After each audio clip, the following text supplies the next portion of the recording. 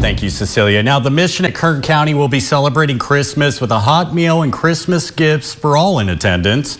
Tomorrow, volunteers will serve golden baked ham, scalloped potatoes, green beans, yams, and all the fixins to more than 500 homeless guests and surrounding community families.